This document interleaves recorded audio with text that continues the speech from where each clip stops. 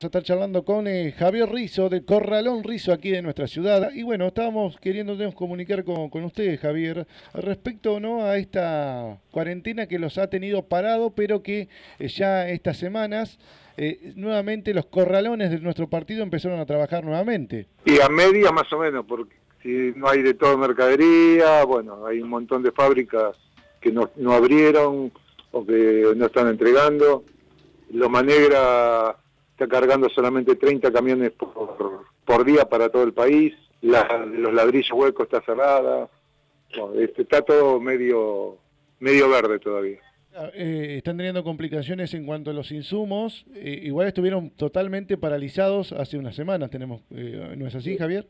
15 días estuvimos parados. 15 días totalmente parados, donde han tenido un impacto económico bastante importante. Así que el panorama ahora se vislumbra bastante complicado en cuanto a conseguir los insumos para poder comercializar, aunque también tenemos que decir que, aunque tengamos los, los insumos, eh, albañiles también están totalmente paralizados. Es lo que peor los pasaron fueron los albañiles en esta historia.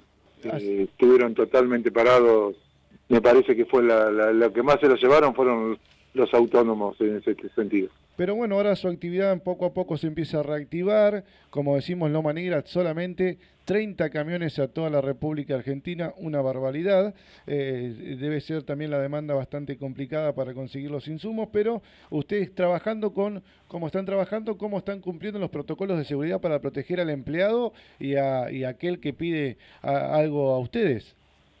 Eh, nosotros tenemos con Mariano acá al frente una mascarilla y después los chicos no tienen mucho contacto con, con el público, no, el distanciamiento social eh, no es, eh, o sea, se tienen que cuidar ellos, no acercarse, nada más, no, no, es eh, que tienen la necesidad de acercarse al público, ¿no?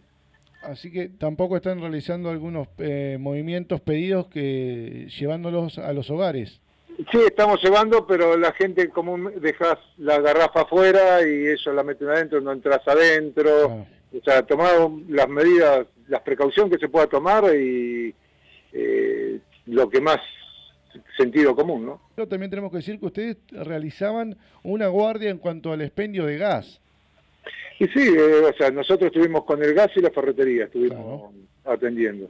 Eh, hasta ahora uno está medianamente tranquilo mientras no haya casos, tomando las medidas de precaución, está medianamente tranquilo. El día que haya un caso, ahí uno eh, estaría más, más preocupado, ¿no? La preocupación es, en mi caso, por lo menos, no es tanto la mía, sino llegar a mi casa con mi hija, ¿no? Uno sabe la, que puede estar, continuamente estás expuesto en la vida lo que a uno más le preocupa, en mi caso, ¿no? sí, sí. Me preocupa es la llegada a mi casa. Javier, eh, repasame eh, los números telefónicos para poder eh, yo tener, si me quedo sin gas, ¿cómo hago? Porque esta guardia está eh, permanente ahí en, en Casa Rizo. ¿Cómo hacemos para podernos comunicar con ustedes?